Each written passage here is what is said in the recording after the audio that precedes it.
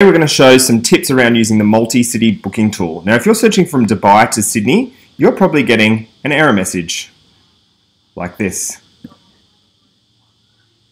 This is because Qantas doesn't have an office in Dubai and they can't sell tickets from Dubai. So if you want to get a ticket from Dubai, you have to search from a European city to Dubai and then from Dubai to Sydney. And we'll select a date we know that has availability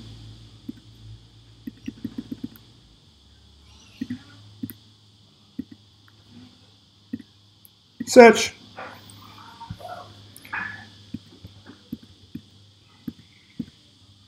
And we'll get the calendar view. So there we've got Vienna to Dubai, plenty of first class availability, and Dubai to Sydney, some first class availability there as well.